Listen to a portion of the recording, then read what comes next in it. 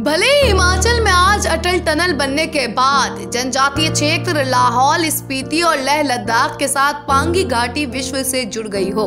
मगर ये सब तब तक ही है जब तक हिमपात ना हो। जिला में कई ऐसे क्षेत्र हैं जहाँ बर्फबारी होने के बाद मरीज़ को अस्पताल पहुंचाना मुश्किल हो जाता है। यहाँ लोगों को कई किलोमीटर लंबा रास्ता बर्फ़ के बीच तय करना पड़ता है। इसके बाद ही वो मुख्य सड़क तक पहुँच सकते हैं, ऐसा एक वाकया उस समय देखने को मिला।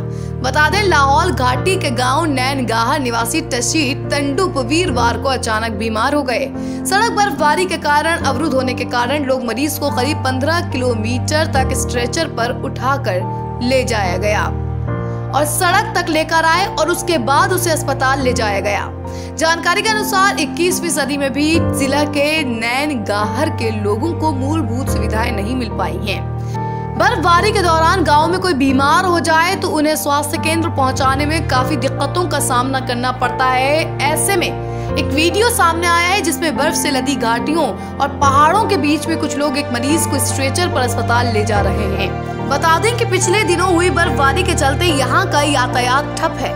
ऐसे में बीमार व्यक्ति को चौखंग छोकजिंग गवाड़ी और नहन गाहर होते हुए लोगों ने मुख्य मार्ग तक पहुँचाया। इसके बाद उसे वाहन के माध्यम से कुल्लू के लिए भेजा गया। ये ग्रामीणों की हिम्मत है कि नैन गाहर के तशी को 15 किलोमीटर बर्फ़ पर चलकर स्ट्रेचर पर मुख्य सड़क तक पहुँचाया। उन्होंने रोज जताया कि जनजातीय इलाके के लोगों को सर्दियाँ आते ही सरकार अपने हालात पर छोड़ देती है। नैन गाहर में स्वास्थ्य उपकेंद्र में अरसे से ताला लटका है। लोक निर्माण के अधिकारियों को सड़क से बर्फ़ हटाने को कहा था, लेकिन अभी कोई पहल नहीं हुई है।